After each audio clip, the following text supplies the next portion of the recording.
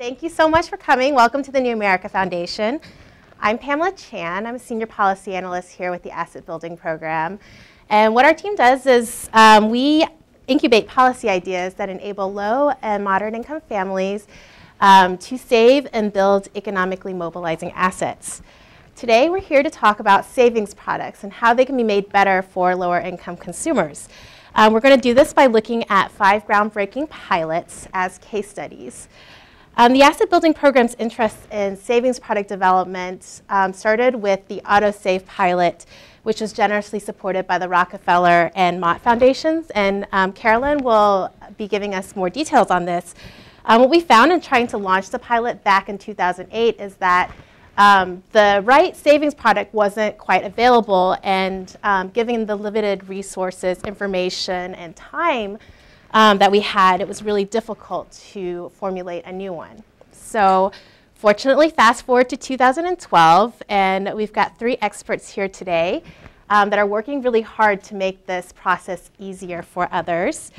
Um, and they're looking deeply into the needs and preferences of lower income consumers, um, which is largely ignored, and experimenting to see how different channels and different innovative product features um, can be implemented in market. First, I'll spend a few minutes introducing each of our speakers and give them a chance to tell you about their work. Um, then we'll have a discussion about the pilot experiences and share lessons learned. And then um, finally, we'll open up the floor to questions. And this event is being webcasted live. Um, so for anyone watching online, um, please send your questions via Twitter using hashtag SPInnovation. So let's start with Sherrie Rhine. She is a senior economist with the Federal Deposit Insurance Corporation. Um, to save time, I won't go through all of our speakers' accomplishments. It's available on the event handout you received.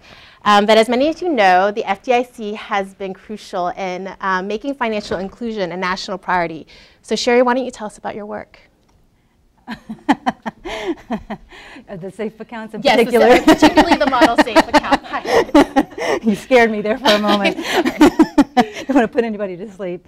Um, I do want to take an opportunity to thank the New America Foundation for this opportunity to talk about the FDIC's Model Safe Accounts pilot. Um, I'd like to also take just a moment to introduce to you two of my colleagues who are very important to this project and, and, others that we do in research at the FDIC. I have Susan Burhouse, who is the co-author um, to the final report that we have on the safe accounts. And we have Masih Tahari, who is uh, our research intern, and we very much appreciate his efforts to keep us afloat. All right, so let me tell you about the, the Safe Accounts pilot. It started in January of 2011 and went through the end of December 31st of that same year. We worked with nine financial institutions to offer, uh, to determine whether um, we could develop these safe accounts that were low cost, uh, whether or not they could be feasible for the banks to use to bring unbanked and underbanked consumers into the financial mainstream. So we worked with them. Um, the pilot banks were asked to follow our FDIC Model Safe Accounts template. Now this template really has the goal of setting up accounts, both transaction and savings, so that they are safe and low cost. So for example, let me give you just a few of the features of, of the safe accounts on the template. So first and foremost, these accounts are electronic um, card-based accounts. So as you can imagine, the cost then is substantially lower if you think about a traditional paper uh, check account. So we had that. We also had that these accounts do not allow for NSF or overdraft fees. That was very important. And so in terms of opening and maintaining accounts, we tried to keep the, the costs low so that for transaction accounts, you could open the account between 10 and $25. And there was a up to $3 maintenance fee on these transaction accounts. Now, what's close to our hearts, of course, for today is the savings accounts.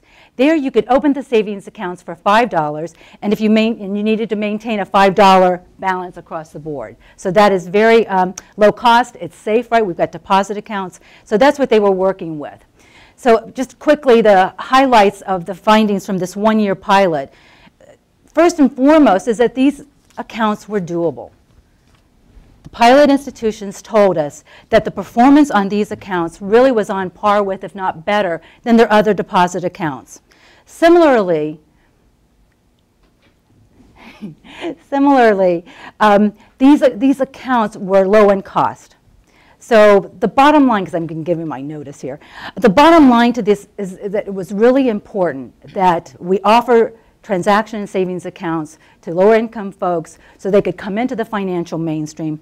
It was very successful in bringing in not only those who were unbanked who had never had an account before, but in fact those who were re-entering the financial mainstream. So we can talk more later. Wonderful, thank you so much. Um, next we have Caroline Schultz, who is a research associate with MDRC, a leading social policy research organization.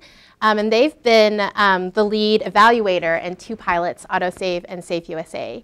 Um, Caroline, can you give us an overview of both? Sure. So um, these are two separate projects, um, but they both focused on unrestricted savings accounts. So encouraging people to deposit money into accounts that they can gain access to at any time as opposed to, say, retirement savings, which is locked up in a sense that you get, um, you have penalties if you take the money out early. In addition, both of these projects, and I'll talk about them separately in a moment, both of these projects use um, the technology of direct deposit in order to make um, the deposits as opposed to relying on an individual going to a bank, for example, and putting the money into an account there. The first project I'm going to talk about is called AutoSave, and as Pam mentioned, this is a pilot that we've conducted over the past few years in a small number of employers around the country. Um, these are diverse employers, so for-profit, nonprofit, and government agencies. AutoSave is based in the workplace, and the way it works is that each participant in AutoSave um, signs an agreement with their employer to deposit a small portion of each paycheck into their autosave account using direct deposit. So once the um, sign up is done initially, every deposit is automatic as long as the individual stays employed at that employer. Sign up is also at the workplace. And as I mentioned, this is another way that people can avoid having to walk into a bank in order to begin saving. The accounts, um, we negotiated the, the, terms of the accounts. So building on what Sherrie's told you, we looked for accounts that had no monthly fee. Um, the condition was that the monthly automatic, I mean the um, regular automatic deposits came in um, with each payroll. Uh, the financial institutions that we worked with um, agreed to waive the fee as long as the deposits kept coming in each payday. And there was no um, minimum opening deposit other than the initial uh, dollar amount that would be uh, from the first paycheck. And typically these were around $25. We've had about 300 people come forward uh, in seven workplaces who agreed to, um, who said, yes, I'd like to participate in this uh, project. So it's a very small scale project focused on um, testing the feasibility of the idea. And the good news is the idea is feasible. Let me shift gears for a moment and talk about Save USA. Save USA is a separate project, um, and instead of being conducted in the workplace, Save USA is, um, is initiated in volunteer, volunteer income tax assistance sites. What these are is locations throughout communities around the country. Um, this project is being implemented in four cities, New York, Newark, San Antonio, and Tulsa. And these are locations typically run by nonprofit organizations where um, people from the, uh, people typically um, below, earning below 50,000, about $50,000 a year can come and get their taxes prepared for free. Save USA um, was built upon uh, an earlier pilot that some of you may have heard of called Save NYC, which was implemented in New York City previously. The purpose of Save USA is to replicate the Save NYC pilot and also to conduct a, um, a study of the impacts of the program. And I'll talk about that a little bit in a moment. Uh, just as I was explaining earlier that AutoSave uses um, payroll deposits in order to fund the account, um, Save USA uses another source of direct deposit, and that's the tax refund um, that people receive after they file their taxes and they receive a tax refund either from the IRS or from their State Department of Revenue. It also is focused not on these little um, regular deposits, the way autosave is, but on kind of one big deposit.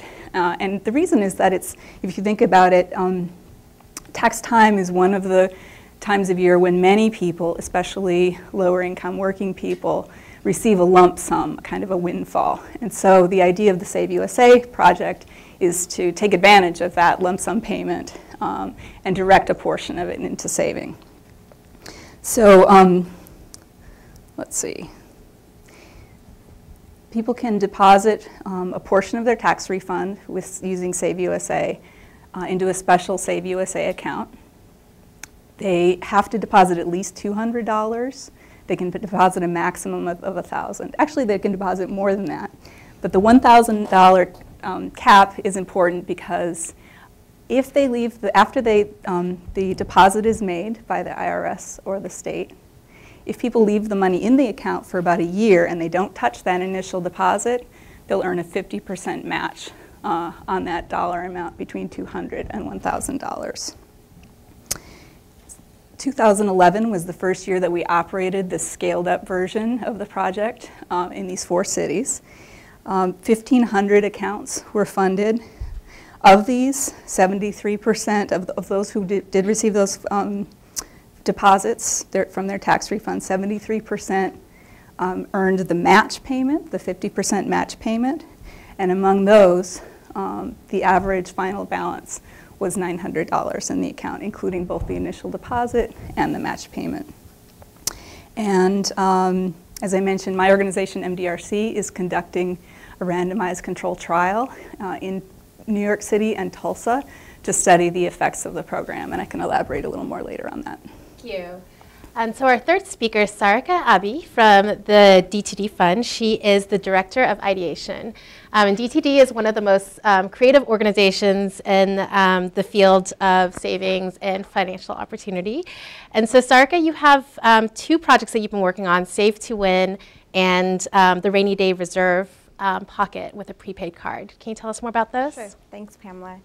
Um, so Save to Win, um, Save to Win was launched in um, 2009, and it was based off of um, a few different insights that we had seen. One was um, consumers want to save, we want to help consumers save, but savings is mundane. It's not exciting. There's nothing gratifying or immediately gratifying about it. Um, and so we wanted to think about how can we make saving fun for consumers to help them engage in that act. Two was prize-linked savings programs, which link the chance to win based on savings activity, have been um, offered internationally and shown to be successful. Um, and three, we know that consumers like games of chance, and we see that in lottery play in the United States. Um, so taking those three insights, um, the Save to Win program was um, launched in Michigan um, in 2009 with the Michigan Credit Union League and eight credit unions. And it was designed as a balance building CD, um, wanting um, to give all consumers access to the product, but also be able to help them think not just about short term, but potentially long term savings too. Um, consumers um, needed just $25 to open the account. Um, and every $25 earns a consumer a chance to win, um, both monthly prizes and a grand prize drawing. And um, the consumer has up to 10 chances to win every month. And it was designed that way so that everyone had equal chances to win and, and not only individuals who could actually deposit a lot in a month. Um, and so the program launched um, in Michigan 2009. Um, switching over to um, the work that we've done around um, Rainy Day Reserve Fund on a prepaid card. Um, so that was designed with um, a few different insights, one being that there's a need to help consumers save for emergencies and a need for innovation in that space because a lot of consumers have difficulty saving for, um, for emergencies, lack emergency savings. Um, there's an opportunity on a prepaid card where consumers are um, budgeting and managing their cash flow. um, but don't have an opportunity to save with that prepaid card. Um, and three, we know when emergency hits that different consumers need access to those funds at different times. Um, and having it on a card makes it accessible when that emergency hits.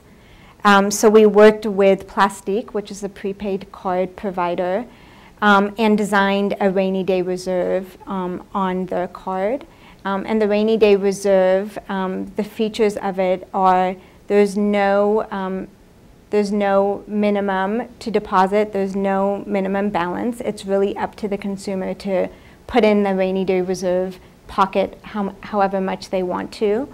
Um, there's features of both automated savings, so a consumer can sign up to auto save a certain amount at a frequency of their choice. Um, or they can manually save, knowing that there's times of the year, such as tax time, where large lump sums come in, and they want to have that decision to manually save. Um, and it was also designed with a withdrawal reminder, so a pop-up message that shows up when a consumer goes to withdraw to really remind them of why they're saving um, and try to deter them from withdrawing unless it's for uh, an emergent need. Sark, I'm going to stay with you just for Sure. another minute. Um, you mentioned that you did a lot of research um, to learn about the consumers that you were targeting. Can you tell us how you defined your targeted consumers and, and what was the process of learning about them? Sure. Um, you know, in, in general, the, the work that we do at D2D, um, you know, our focus is on low to moderate income consumers, um, really defined as households um, with incomes under 60,000. Um, and then, you know, in general, we're looking at more financially vulnerable consumers, so consumers that aren't saving regularly, uh, consumers that are asset poor, um, which we define as under 5,000 in assets excluding your mortgage. And a lot of different classes of financially vulnerable, but those are kind of the three main categories.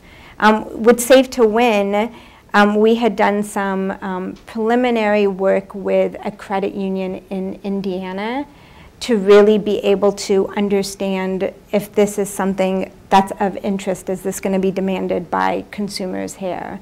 Um, and we also did um, a survey of consumers through that credit union to really understand if this is a if this is a product that consumers would be interested in. Um, and then we've also just seen a lot of international work in this space that shows that there is demand for this type of product. We don't know if that demand exists in the United States, but we knew that it was international. Um, with the work with PlastyC, we actually did um, a national survey of 600 consumers, um, low to moderate income, to really try to understand what are the gaps that exist around um, emergency savings, how are consumers managing emergencies um, when they don't have savings, um, and really try to get some insight on what type of product features would help consumers save for emergencies. And we applied that to the design of, of that product. Um, Sherrie, uh, since you had nine different sites, right? Like, what were the what were some of the things different banks did to learn about their target? Yeah, so when you, you think about this, you think about a supply side approach, right? So we've got banks who are willing to offer these transaction and savings accounts.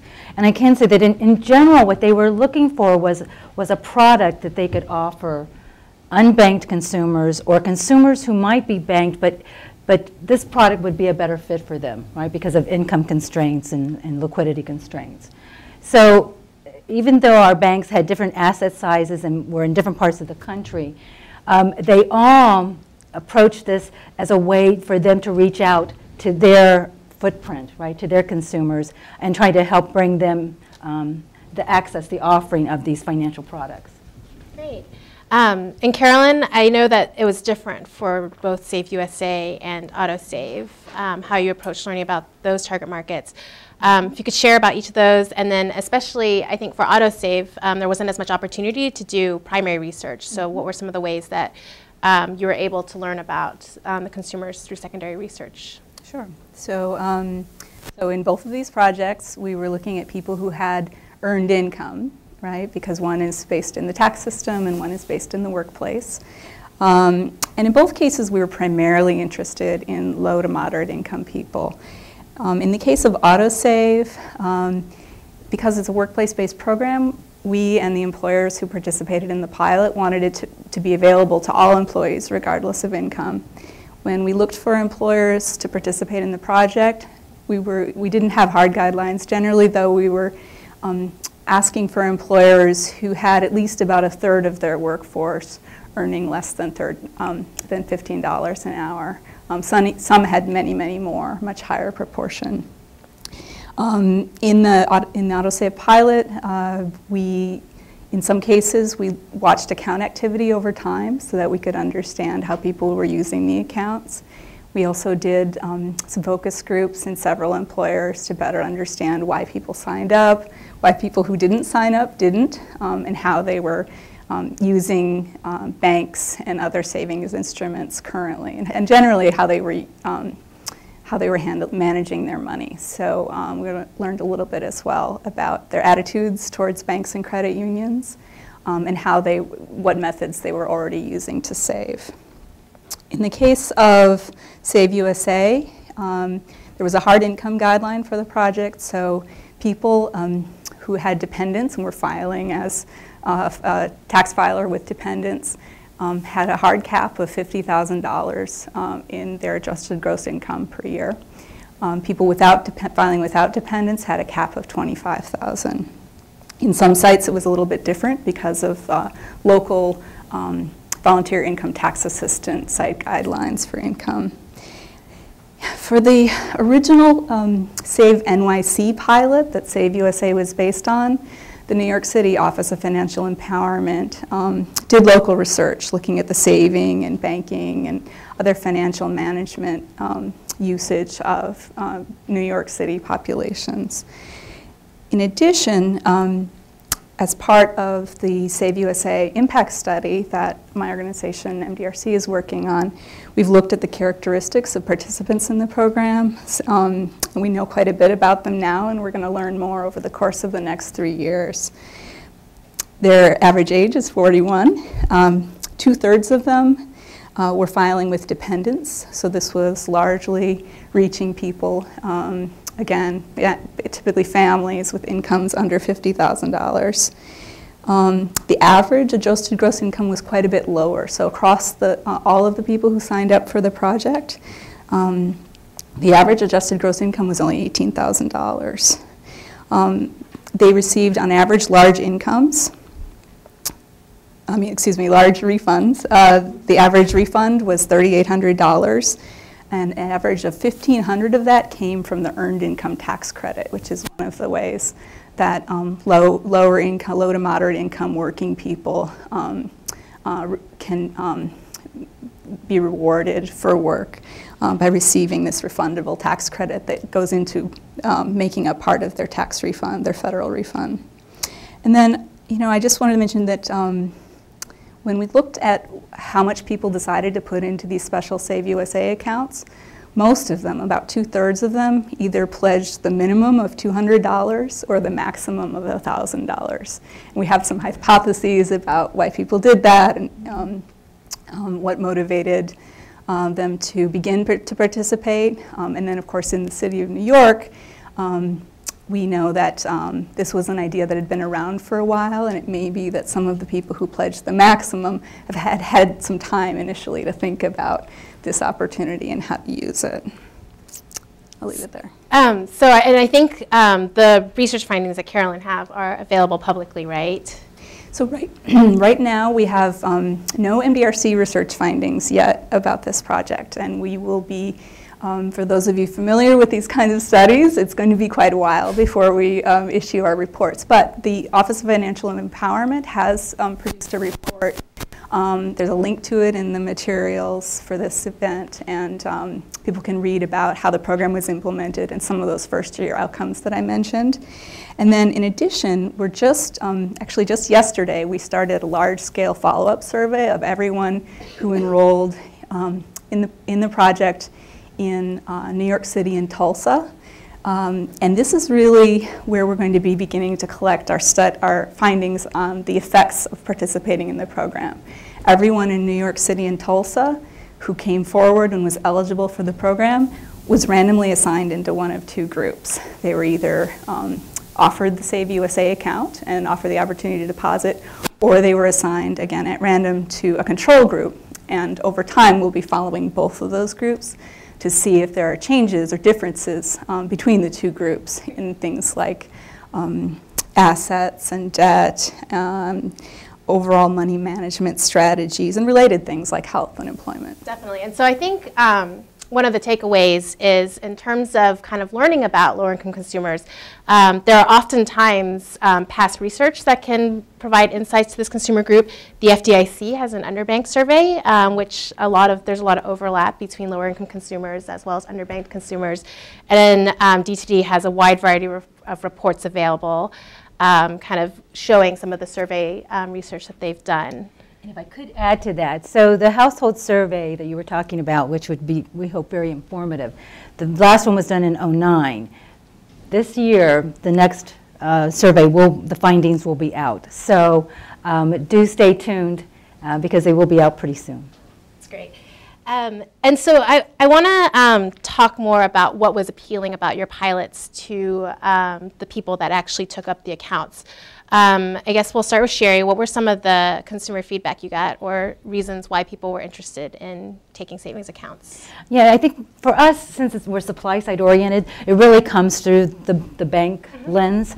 But in action, we have really very nice retention rates on both the savings accounts and the uh, transaction accounts. I don't know if you guys know this, but the industry folks tell us that within one year of opening a deposit account, they will um, they will drop from that account 30 by 30 percent. So our retention rates were much better than that. We had 80, uh, sorry, 95 percent retention rates for savings and 81 percent for um, the transaction accounts. Though it is just the one-year pilot, it's, it's indicative of the fact that these accounts by these consumers uh, are of value to them because they're holding them, they're keeping them. Did you get any feedback as to why the retention um, was so high? My, from our conversations with, with uh, the, the bankers, it's that this is a good match. This is, this is the kind of products that they need to get started. And they recognize that, that it's really important to them. For those who are uh, individuals who were second chance individuals, you know, those who were, for whatever reason, pulled outside of the financial mainstream. This was their opportunity to get back in. One example um, that the banks told us was, um, you know, these folks realize that it's not just a second chance, it's last chance. Great. Um, so Caroline, why don't you tell us about what some of the attractive features were? Let's start with AutoSave and then talk about Save USA. Okay. So um, so this is based on limited focus group data um, and other feedback we've gotten from employees and employers.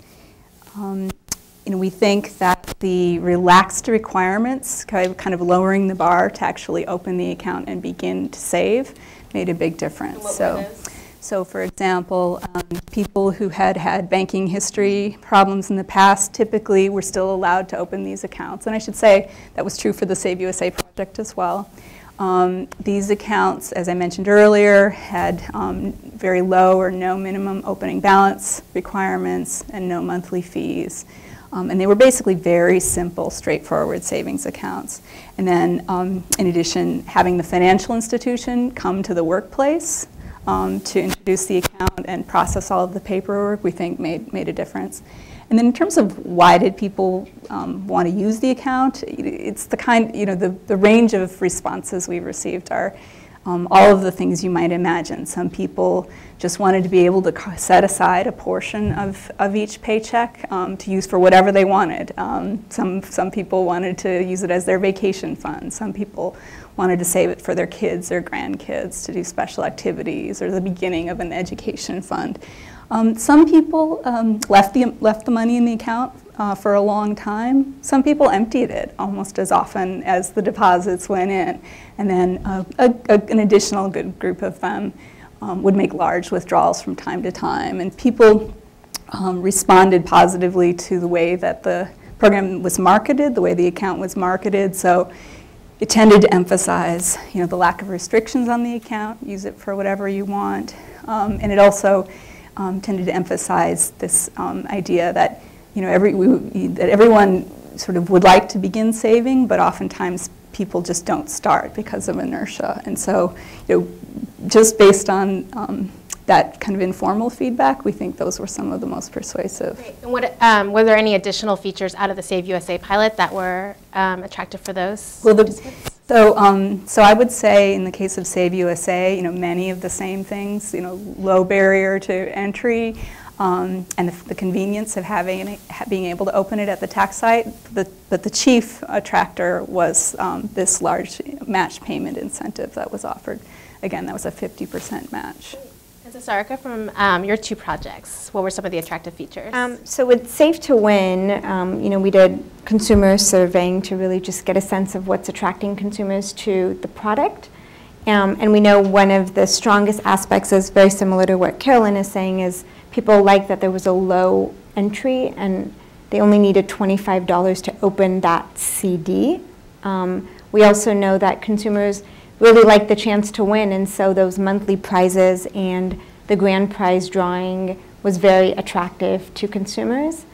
Um, and then the last um, point on, on Save to Win was, um, you know, from the surveys, we really learned that many of these consumers had never had a certificate of deposit. So even if they've had checking, they've had savings, they've never had this more long-term vehicle to save. Um, and being able to do that, but in a way that worked for them, was really attractive. Um, with the work with um, PlastyC and the Rainy Day Reserve, we're still collecting surveys, uh, but what we're seeing is what's attractive to consumers um, is specifically the fact that many of them don't have access to traditional savings, and many of them have not really been able to, or they feel they haven't been able to save effectively in traditional savings. We're also uh, learning that for many of them, it was so easy to try that just being able to have it on their prepaid card, transfer that money, and just try it out um, was something that was very attractive to them. Um, and then the last point is, is that um, many of them um, have said they've never had a CD, never had a checking account, never had a savings account. Um, and so this is really their first, first time being able to kind of access that in a, in more non-traditional way. Great. And so in just a second, I want to um, start talking about the provider experience. But um, just to throw out one more question, did you guys um, experience any um, aspects of your pilots that might have caused a, a, level of rejection of the, of the program? Um, for the Safe Accounts pilot, I mentioned to you the, the parameters of it, that uh, had to be a card-based right, uh, account. The other was that there, there could not be NSF or overdraft fees. Um, that was a line in the sand for us. That was very important. It remains important to us. And there were some uh, institutions who were interested in joining in the pilot, but once they heard about that particular feature or set of features, um, they were unwilling to, to take it to the next level. So that was a that was a, a deal breaker. Deal breaker for some yeah. of the financial institutions.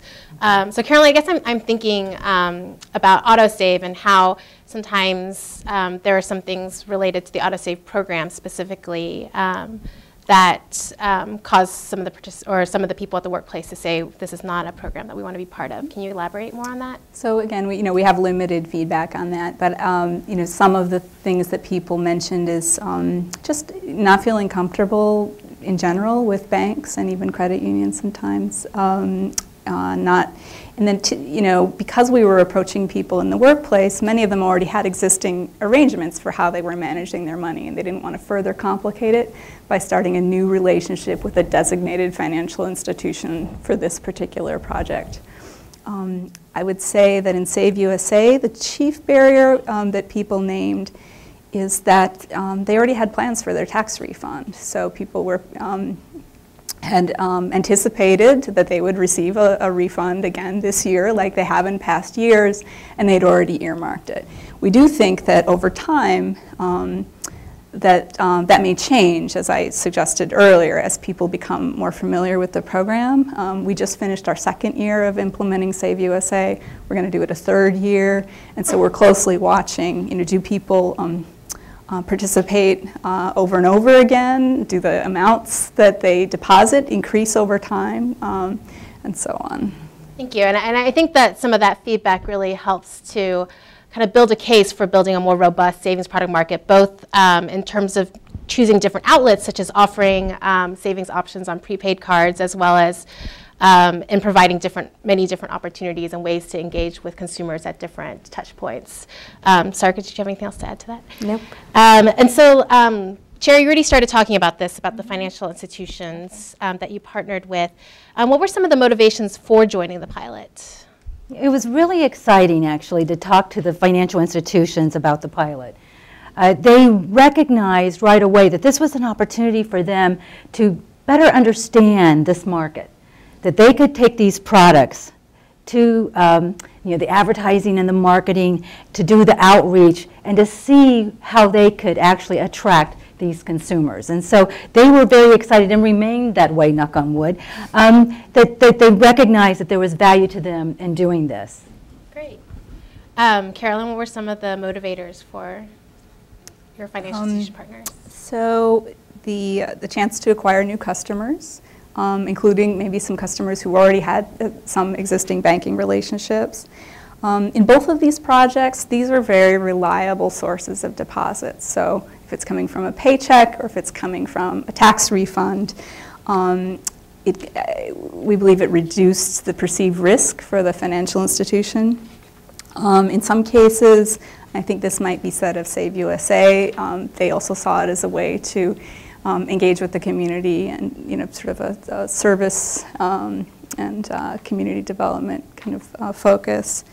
And um, I guess I would say, I might add, um, the one thing that they um, were reluctant about in the Save Pro USA project was that um, because account activity data is used to calculate whether, um, whether and how much a person will receive in the match payment incentive, there was a fairly, um, um, I would say, in some cases, what a bank would have thought of as an onerous uh, data sharing or reporting requirement in order to closely track those accounts over time. Sarika, what about in your experience? Yeah, with Save to Win, um, you know, I think for the credit unions, it was one, you know, it was very much mission fit. They have this interest in serving more financially vulnerable consumers, and so they were excited about the potential of this product to do that. Um, and two, I think it was an opportunity to just be very innovative. They saw this as something interesting, something new, something exciting to try and get to be a part of that process to help define it, help make it successful, help sell it to their members, potentially attract new members too. With, um, with the work that we've done with PlastyC, um, you know, he, uh, similarly is really interested in serving more financially vulnerable, unbanked, underbanked consumers, um, and really interested in designing a card that um, allows someone to use it as kind of a one-stop shop for a lot of their financial transactions and financial needs. Um, and he was very interested in potentially exploring a savings feature at the same time that we really wanted to pilot it. And so the timing just worked out really well there. Great. Um, so it sounds like you know the ability to attract new customers um, was a big selling feature in terms of getting financial institutions to offer these um, new accounts. Mm -hmm. And then um, in terms of um, concerns that they might have had, the um, reporting requirements that um, barriers that might have made it more difficult to service these accounts were um, problematic. Yeah, I was just thinking about one other thing that came up with the financial institutions. At the onset of participation, there was some concern on their part about um, risks related to mismanagement of accounts or potential fraud activity. And one of the real highlights, I think, of this particular pilot was that those concerns were really unfounded, mm -hmm. as it turned out. And that was very helpful for the financial institutions to have gone through that process and to see that, in fact, that these folks are not fraud risks. They can manage their funds, especially if the, the turnoff is, is, is occurring. And so that, that was really important, I yeah. think. That's, that's a nice point. You know, the, um, the fact that, you know, the lower income consumers um, that were targeted may have been perceived as a business risks, but um, in many ways you guys are finding that that's not necessarily the case. And so um, let's talk about some of the special features in um, these savings products. Um, each of you had aspects of, of the accounts where um, you really tried to build in features that would help build savings. Um, so Sarika, let's start with you and talking about especially like um, some of the incentives that you built into Save to Win. Sure. Um, so again, Save to Win was designed as a balance building CD. Um, and so it was just as important to be able to get someone to take up the product as it was to ensure that consumers are engaged in continuing to save in the product. So, um, you know, it was designed with um, monthly drawings, um, both at credit union level, but also at the league level, um, to really engage people in that opportunity to win every month. So they're not just putting it in, waiting for the grand prize, but every month they have 10 chances to win if they put in the 250 to deposit. Um, so that was really the, the motivator. Um, and what we saw is that as consumers were winning, they were becoming more engaged. Um, and winners uh, were saving more regularly than non-winners. So knowing that just having that chance to win is important, but then actually being able to win, irrespective of the size. I mean, in year one, it was anything from $15 to 400 in a monthly winning. Someone who won $15 was just as likely to save regularly than someone who won 400. Um, so having that, that winning um, was a huge motivator with Save to Win.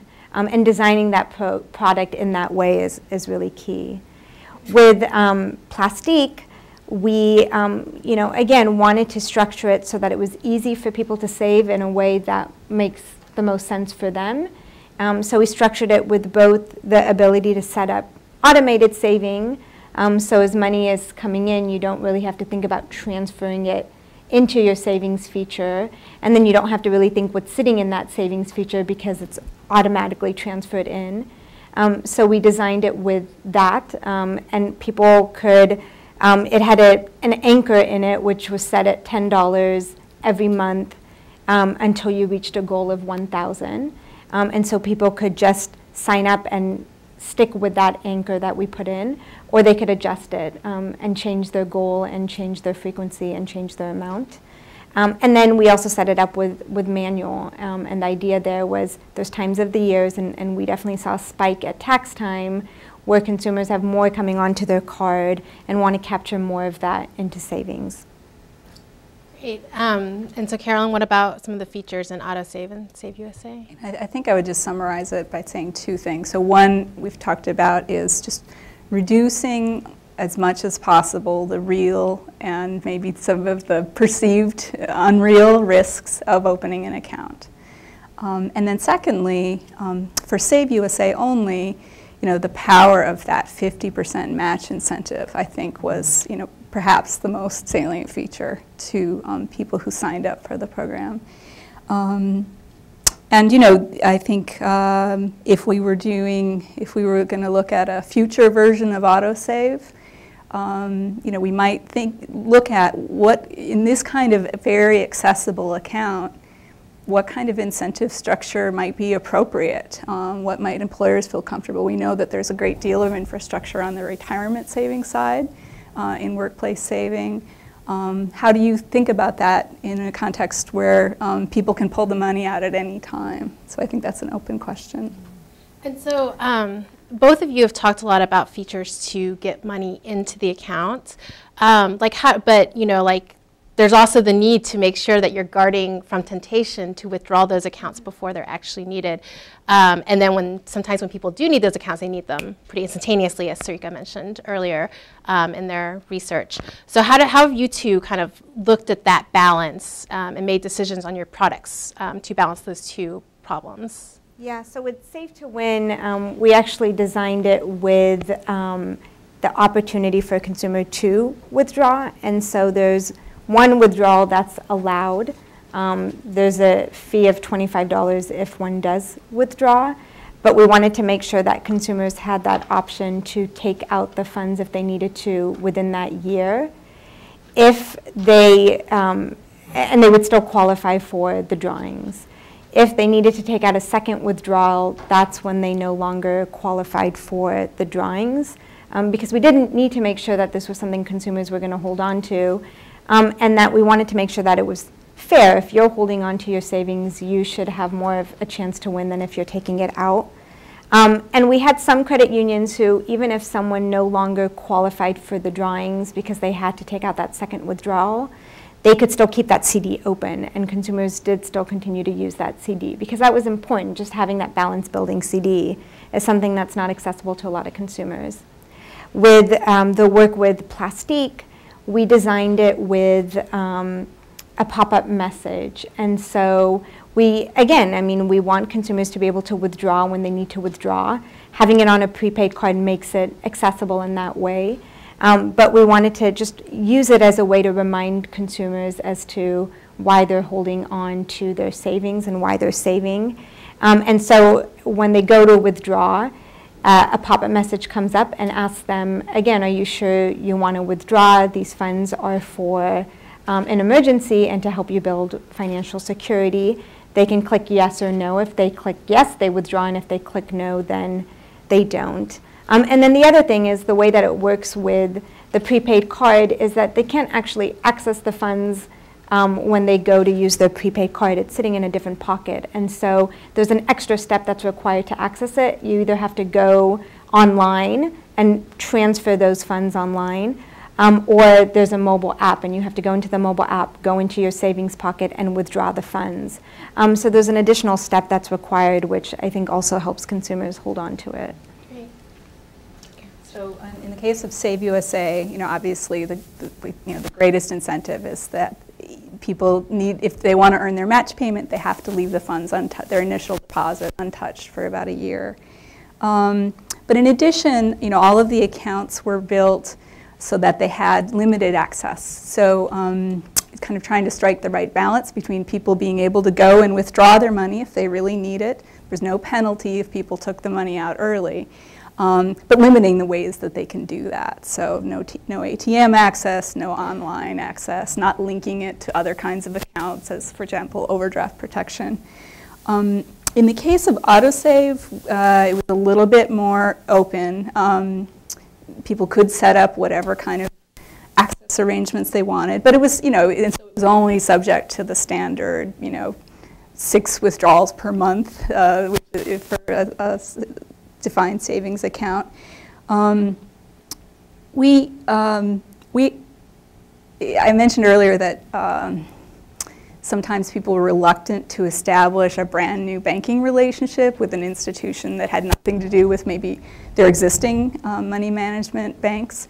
Um, we, we tried to sort of uh, turn that into a selling point. We said, look, if, if your goal is really to leave this money untouched or to save it for a particular purpose, having it in a separate financial institution, a bank or a credit union, might actually help you to meet that goal. Um, but uh, beyond that, we, we tried, again, to strike the right balance of saying, look, this is your money, this is coming out of your paycheck, you can use it however you want. Neither the bank nor the employer have anything to say about that. Sure, you have something to add? Yeah, well, as, you know, the, the Safe Accounts savings account is, is really pretty standard, right? Very simple. Where we saw differences in how the banks actually implemented their programs. There were very different business models used among the different pilot institutions. So we had, for example, one institution who actually worked in partnership with a nonprofit, a microfinance organization, Grameen, I'm sure you know, uh, in New York City. And it was very interesting that they were working with the, the um, small business owners. The idea was, of course, the, the lending, but to be a part of this program, they added the savings component. So it was higher volume of accounts, lower dollar amounts. But again, reiterating and echoing what we all know is that people can save. And so that, that was one of them. And another was a different platform. We had an internet bank who was offering savings accounts. And then you had those accounts where it, then it becomes a marketing issue. Are you, are you trying to get the accounts open to the, to the individual or are you reminding them as grandparents that they have grandchildren? You know, there are different marketing and advertising methods that were being used. So I think that that could help us actually as we go forward with trying to promote saving. Um, so what do you think, um, if you were to give advice to someone on building a new savings product, what are some key features they should include? Jerry, sorry. Definitely automatic saving, right? What you guys are talking about, that's absolutely a, a good thing to do, right? It's just done. Yeah, I, I you know, I think primarily um, making it easy for people to begin and lowering or minimizing the risk that small dollar savers will sort of watch their money get chipped away by, you know, fees associated with making withdrawals or saving too little or keep maintaining too low a balance. Um, you know, I'd say in addition to the features that we've talked about, I think one thing that's important is, um, you know, in a case where automated is, is not possible or, you know, there's opportunities to potentially capture more funds such as tax time, um, I think it's important to think about features such as reminders. Um, so for a lot of consumers, having that reminder come up at that timely time when funds are coming in um, could be really crucial to helping them capture. Um, but I also think that there's, you know, there's ways of thinking about, you know, really interesting features. You know, we know the gifting message really resonates with consumers when it comes to savings and if there's a way to incorporate gifting into savings. So for instance, we know with um, prepaid cards, often families are sharing multiple cards and there's ways to think about how you can gift savings to someone else who's also a, a consumer um, of that prepaid card company. Um, and then I also think that different ways of making it uh, making it fun. So prize-linked Savings is one example of that, but really um, applying more uh, rewards, more kind of gamification, and, and making it more of an experience for consumers could be really interesting too. Um, and in terms of beyond the um, organizations that we have on panel today, um, two other organizations that are good resources in terms of getting um, assistance in designing programs are CFSI, which is based in Chicago, and CFED, which are, is based here in DC.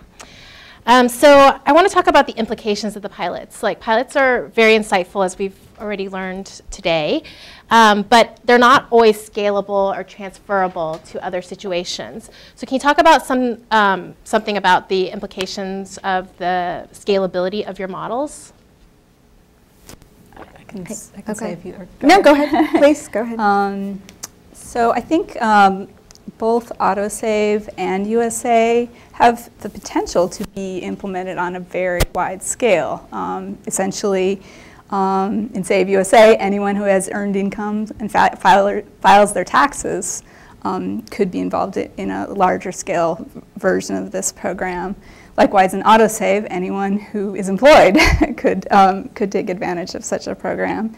Um, I think, uh, you know, some of the areas um, that one would have to work on would be um, you know, making it as fluid as possible to um, initiate that remote process. So whether it's opening a bank account in a workplace um, or um, you know, designated a, a, designating a portion of a tax refund uh, to be held as savings, making those things as streamlined as possible. Um, I think we shouldn't discount the power and value and need for effective marketing and word of mouth. Um, and you know, in a sense, it might be a circular answer. The, the, the more widespread these practices become, uh, the more people would know about it, plan for it, uh, and decide to take advantage of it.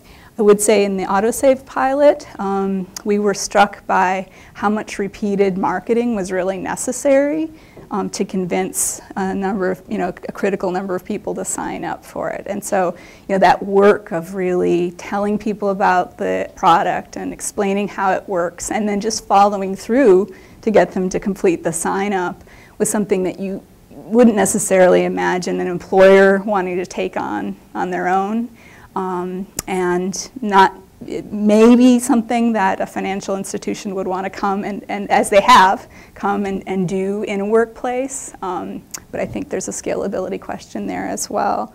Um, and then in, in terms of um, Save USA ramp up, I think you know it, um, some of the proposals um, for the savers bonus uh, that have been introduced in the past really focus on okay, how could such a um, tax time matched savings type program be implemented on a wide scale, either through the tax code or other opportunities to designate, say, you know, um, savings every year, um, particularly for this population that, um, you know, doesn't have a lot access to a lot of other um, kind of tax-based um, tax-based incentives and, and uh, credits. Um, Sarika, let's talk about Sure. Um, so with the work with PlastyC, um, you know, it's a savings feature on a prepaid card. um, you know, so many consumers, about a third of consumers have uh, access to prepaid cards. More than 4 million unbanked, underbanked consumers are using general reloadable prepaid cards. So there's a real opportunity to scale up that feature, not just with our partner, but across the prepaid card industry. Um, but I also think there's a design insight there that is potentially pilotable and, and scalable in a different form. And it's really thinking about how card platforms could be used to provide access to savings for consumers. Um, and so, you know, just one idea there that we're actually in the process of piloting is um, using uh, gift cards as a mode through which um, you could save for emergencies um, and really piloting that idea. And so I think it's both looking at the product itself, but also design insights that come out of it. Uh, for the work that we're doing um, uh, with Save to Win is that after 2009, which was the pilot year, uh, the pilot year was so successful, we had over 11,000 consumers save more than 8.5 million in these accounts. Um, it was easy to continue to scale that model within Michigan itself. Um, over three years, we've had more than 25,000 unique account holders save over 40 million. Um, and then outside of Michigan, um, the success of what's happened in Michigan has really helped drive legislative change in other states. We've had six states pass prize-linked savings legislation. Uh, we had one state, Nebraska, launch this year their own um, Save to Win program. We have a couple more states that are interested and and hopefully will launch next year. Um, but again, there's a design insight there. These prize-linked savings products are attractive and, and do engage consumers in the act of saving. And so we're looking at and exploring different um, distribution channels for it as well as different models of it. Um, so one model is um, that doesn't require legislative change is you know looking at sweepstakes and offering um, sweepstakes um, in, in a more national, uh, large-scale program. Um, but the other is, you know, looking at different distribution channels. Um, so the lottery is, is one of them. And knowing that consumers like the lottery, a lot of consumers are actually engaged in lottery, that could be a really interesting channel through which we can offer savings. Um, and we're actually in um, some conversations with a few states and, and, and state lotteries that are interested in this. We've done some national research around it also um, that shows that consumers are interested in this and not just lottery players but non-lottery players too and, and see that as a potentially good model through which savings could be offered. Sherrie, you're going to see safe accounts at all FDIC insured banks? You betcha. Um, I think we all agree that the financial services industry is really going through dramatic changes. We have different technologies taking place, new kinds of products uh, coming to the forefront. We haven't talked about mobile, but that's definitely in the forefront of delivery or platform. And I, I do caution us a little about the, the point of safety because non-banks as well as banks are in this business. And so we need to ensure that those who we are really trying to help, right, the unbanked, the underserved, we want to ensure that they are able to get access to products that are on par with what anyone else can have. So we stood roll with the technology, but keep that eye to the consumer's best interest. Great, and um, kind of one last question that's related to that point is what are some of the policy challenges that you faced or implications that um, Sherrie will pass on this one. Um, but what are some of the policy implications coming of your pilots that you'd like to highlight? Yeah, um, you know, with, with Save to Win, um, we were lucky in that um, Michigan uh, law allowed us to test a savings promotion raffle. Um, and so in piloting it, we didn't really have any uh, le legal hurdles. Um, but there's definitely the challenge of scaling it, right? And so in order to scale that model, um, we do need to go state by state. But the nice thing is, is that we were actually able to pilot it first. Um, and so, you know, I, I, think that's one of the issues is being able to um, have enough of uh, flexibility in policy that allows you to pilot some of these innovations. Um, again, Save to Win, we had it. Um, but in other products, that's not necessarily the case. Um, you know, I think another thing is, uh, you know, when you do see something that is successful, um, you know, what are the potential opportunities to scale that policy or think about federal change that allows, um, allows that policy to trump what's happening statewide so you don't have to go state by state to uh, implement such a change. And Caroline, what about? I think I would just add that um, in this area of sort of unrestricted or emergency savings, um, there's very little guidance to employers uh, about how they can help employees to do this. So there's um, a great deal of guidance um, about how to help employees save for retirement. Um, and I think, you know, one policy um, type of, I don't know if I'd call it policy change, but you know, something that could be addressed perhaps at the federal level um, would be to sort of lay out some basic ground rules so that employers can feel more comfortable helping employees establish these kinds of savings accounts. And then I guess I would also say just, um, you know, and again, not sure this is an area for policy change, but um, as I described, you know, current, in their current forms, um, both the Save USA and AutoSave project involved opening, opening a traditional bank account in a remote location. Um, and that, uh, you know, sometimes is a great deal of work either for the financial institution or the, um, or, you know, its partner organizations, employers or community-based organizations who are helping with the project. And so just trying to think about ways um, to be more innovative about how can we make that um, initial setup even more smooth, uh, I think. So it sounds like in terms of um, thinking of new policy ideas, Reid, I'm looking at you. Um, we have our work cut out. We've got to think of ways to make um, products more safe and um, more uniformed across the board. We've got to um, make sure that the avenues are open for some of these good and innovative features to really take hold. Uh, we need more guidance for our suppliers as well as distributors um, and find ways to make it easier for uh, private sector entities to serve this, this consumer group. Um, so now I'm going to go ahead and open it up to audience um, question and answers. Um, Bill is going to be walking around the room with a mic, and um, please wait for him to come um, before you give your question because our web audience will not be able to hear you otherwise.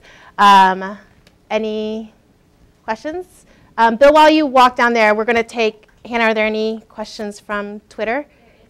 Okay, great. Let's, oh wait, you've got it, never mind. We'll take this one first. Hi, thank you. Um, question maybe to Sherrie in particular. Was there any evidence in the pilot that uh, the financial institutions made money on these accounts? Made money.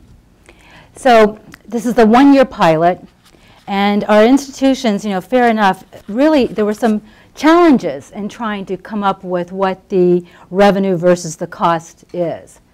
But what they did was we, we asked them about cost recovery. We know that for lower income folks, it's never going to be the humongous profit maker, right? We can recognize that. But the banks, what they did do was they looked at the cost recovery. And that's where we can say that on the cost recovery side, that these um, transaction and savings accounts fared as well, if not better, in some, for some of the pilot banks.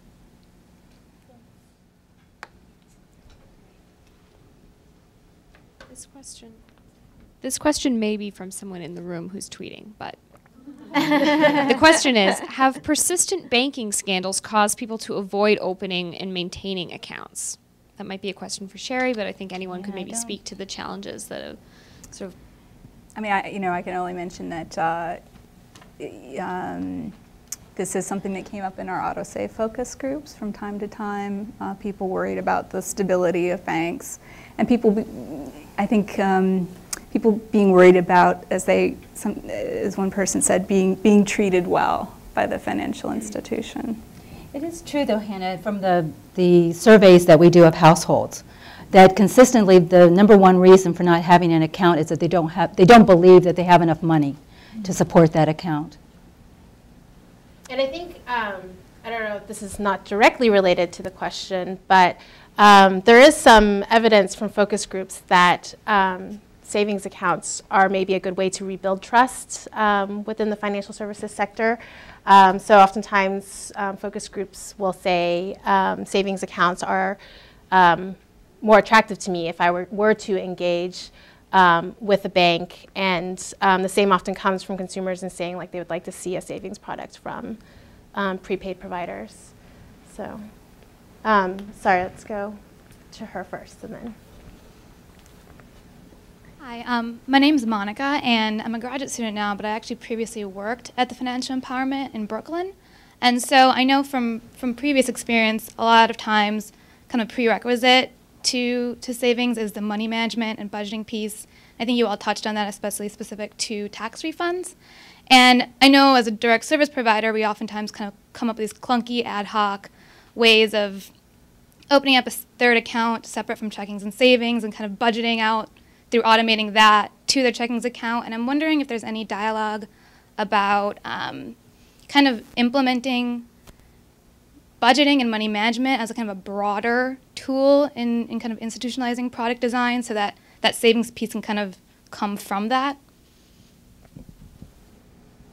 I'll just say quick, quickly that um, although it wasn't considered a core feature, um, the um, community-based partners who implemented the Save USA project oftentimes did have related service components. And the, the people who actually marketed the accounts in these um, VITA tax prep sites were usually called asset specialists.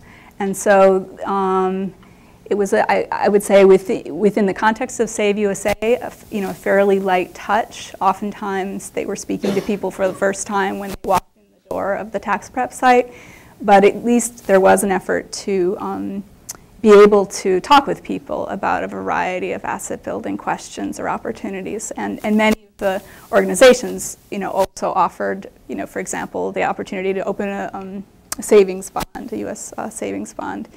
I, I, would just say, I guess, um, I um, would say that building the infrastructure for some of these models um, it's probably useful to think about what's the core that it needs to function properly and how can it be done in a cost-effective way and sort of separate that from the kind of good stewardship and um, of providing people with more wraparound advice and assistance so, so that you don't make the core dependent upon ha ha having to build a, a large infrastructure of financial advising. So a lot of this comes into the question of how are we going to deliver financial education to those who, who need it. And the, it was something that came up at the pilot that was really kind of interesting, and that was that the frontline tellers and customer service representatives were actually a valued asset for that purpose by many of our banks. And for me personally, I, I was surprised at that. But they spend the time, the tellers were trained actually, to spend the time with the individual who came up there recognized that they were a safe account holder um, possibility, and they talked to them about how to manage and, and just went through that, that um, discussion with them and to build that relationship. So I, I, personally was surprised that we, we perhaps we get so excited about the online stuff and all that, um, but there's still a lot of good face-to-face -face that's going on out there uh, in, in the marketplace. No, I mean, nothing to add to that, but just to echo that, I mean, that's, that was key for, and continues to be key in our Save to Win work. Um, you know, it's, it's really that frontline staff that is engaging consumers, is making them aware that this product exists. Um, and they're excited about the product, and because they're excited about it, they can communicate that excitement to consumers. Um, and, and that's important. That's how consumers learn about it and understand it because it does function differently than, than typical savings accounts. Just one last thing, and I think um, if you're not going to provide, you know, uh, advising on the use of a product, then I think, um, you know, making the product as safe and user-friendly as possible is, is, the, is that core that I was describing. Yeah. And then I, there's a question up here. Hannah, do we have any more? Hi, I'm uh, Can you hear me? Okay. I am uh, Woody. I'm a recent graduate from Johns Hopkins who'd be interested in working in an organization trying to promote savings. Um, I was wondering if uh, you've seen any pro uh, proposals um, uh, to make a program like this somewhat of an automatic stabilizer during booms and recessions. Essentially, you make it procedurally much easier uh, to save during you know boom times and make it procedurally much much less much less easy to save during a recession when we need consumer spending to be up. I, I was wondering if you think that could be a more politically palatable form of stabilization rather than the government like running large deficits which look very politically unpopular. Um, well, I think that's a very interesting question. Um, I think you're right in the sense that uh, what we're trying to do right now is um, to uh, lay the infrastructure so that um, when this down economic cycle is past, that people are then able to save, because that's something that um, we saw not happen in this, in this previous cycle. Um, and so I think that just kind of goes to the importance of um, paying attention right now at this, at this moment um, to savings products and the development of the right kind of savings products so that, um, you know, in, in the future, um, we don't have to see the same repetitive cycle that we've seen today. And final question, or I guess we'll take two more and then that's it. I'm, I'm curious about tying this into uh, places where poverty is more concentrated, like housing developments, and how uh, some of these tools could be rolled out for residents, uh, people who are on Section 8 and things like that, or also a program like TANF maybe five dollars from a TANF uh, account could go into this savings. Um, what what do you think about those uh, ideas? For the pilot, it's actually interesting you brought that up. I'm, I'm glad you did because there were a couple of uh, pilot institutions who actually approached the housing authorities, the local housing authorities, and, and others about this because that seems like a, a really good match, right? Um, and it, it's a good match, but it takes time.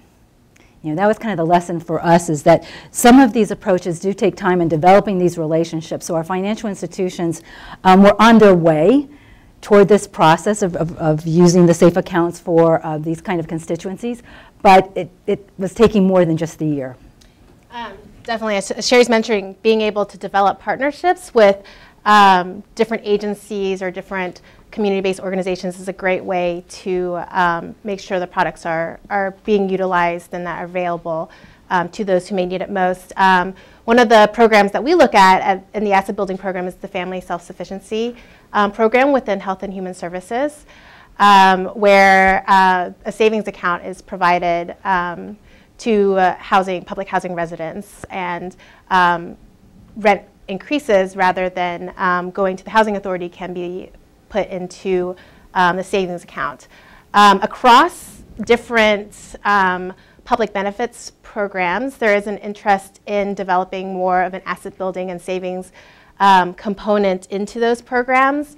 Um, and that's going on throughout the Administration for Children and Families. So very good points. and then let's address this question and then I have uh, two quick questions. One, one is just about interest rates connected with all these things, because I don't think anyone mentioned it, but I assume there may be market rates. And the other one is for uh, Sarika. I'm very interested in the sort of gamifying uh, savings. And I was recently at a talk on, uh, on you know, health behaviors, how introducing gaming models in that has had a lot of impact, uh, particularly creating competition. So I was just wondering if there are other things that you're aware of on the uh, on the, the, when you scan the environment, they're doing similar things to extend your, your um, program's idea. Sure. Um, so the first question, I'll let everyone answer that, but the first question on um, interest rates, with uh, Save to Win, um, each of the credit unions set their own interest rate on the product. Um, and so, you know, we've seen it range from market rate to below because there's um, prizes that are associated with the account. With uh, PlastyC, we actually have no interest rate on the savings feature. Um, so in both the AutoSave and Save USA projects, these were primarily market rate interest-bearing accounts, um, which you know during the period of implementation has been below 1%.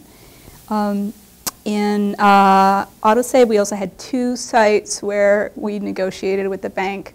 Um, in one case, um, the only way we could get all the other features we wanted was to have it not be an interest-bearing account, so we went ahead and did that. Um, particularly because we weren't losing a great deal in this, at these rates. And then um, in our Ohio site in AutoSave, um, we benefited from an additional statewide program that supplemented the savings, um, I mean the interest rate on savings accounts uh, for certain consumers. And so it went up to, I believe, I believe it was 3.25% for a limited time. Yeah, I think um, something that's really interesting about interest rates is that you know, that's something that higher income savers tend to focus on a lot. Um, but there is some evidence that, you know, for lower income savers, particularly the consumers that we look at, um, the savings amounts are relatively low and people, you know, need to withdraw them every now and then. So the payout um, for interest may not be that high and, and the motivation um, at looking at interest rates might not be the top priority. Of course, in an ideal world, having high interest rates is always better. Um, but, you know, there is I guess the point is that you know it may not be the top concern of the consumers that we're looking at. And so I'll let Sarika talk about the games. Sure. Um, so I'll, I'll, do my best to answer this. I'm probably not the best person on our team to do so, but I would definitely put you in touch with them. Um, but you know, we have done a lot of work in thinking about how to um, help consumers build financial capability, um, and knowing that sometimes traditional financial education doesn't work well for that. Because again it's difficult to engage consumers in that. Um, so we've actually um, designed financial education games called financial entertainment. Um, and they each really focus on something different but it's all around how do we help consumers make better financial decisions for themselves. Um, and what we've done is once we've designed the games we then try to link them to an action. So we help consumers understand, and then we want to see if they, um, if it helps them actually change behavior. Um, and so we've done a lot of work around that and really trying to link these games to actions to help consumers um, improve their decisions um, and in increase savings. Um, but we're also just furthering um, our understanding of the space of gamification and really trying to think more broadly on how uh, gamification can be used within designs of products. Um, and I can say that we'll have a, a, paper out shortly really just around that. Um, but our exploration into that has really been around our financial entertainment games, um, but also some of the work that we've done around prize-linked savings and really being able to bring in excitement into the act of saving. Thank you. Um, thank you, Sarika, Caroline, and Sherrie for being here today. Um, I certainly hope this is the start of a productive conversation on, on, what it will take to build a more robust savings market in the U.S. Um, we've all got reports on our research, which is available on the event page. And of course, please don't hesitate to reach out to me if you have any questions or if you want to share um, some of the product innovations you're working on for lower income consumers. Um, my contact information, as well as a bunch of resources on savings and asset building, is available on assets.newamerica.net. Thank you. Thank you.